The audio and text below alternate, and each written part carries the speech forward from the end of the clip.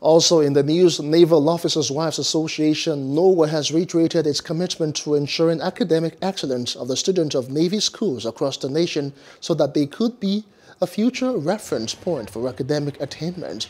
NOWA President Aisha Gambo said this while commending the 115 graduating pupils of NOWA Nursery and Primary School, Mobile Road, Apapa, and charged them to be focused in their studies.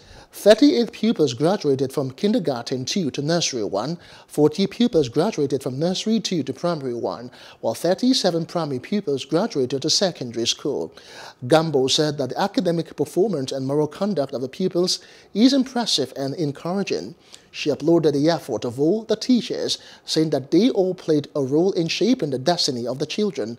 Now, plastic chairs and benches, as well as a giant-sized photocopying machine, was donated to the school. I am filled with joy and excitement as I get to share this moment of joy with these beautiful children and their lovely parents.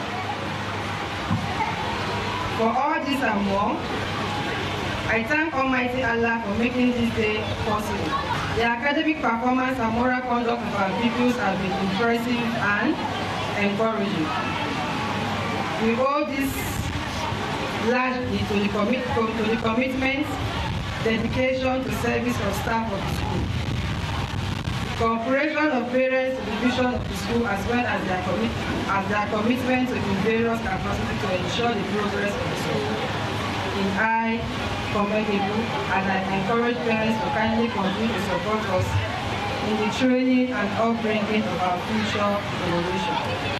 Hello. Hope you enjoyed the news. Please do subscribe to our YouTube channel and don't forget to hit the notification button so you get notified about fresh news updates.